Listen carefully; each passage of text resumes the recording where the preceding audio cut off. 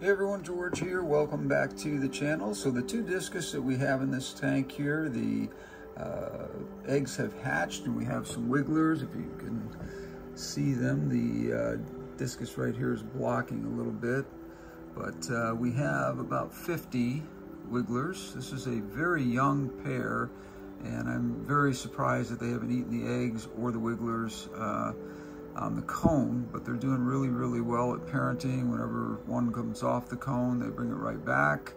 Now, as you can see, uh, this is a temporary lining that I use for all of my uh, tanks because they can be removed and cleaned very easily. I've done this in the past with breeding tanks and uh, it really works well.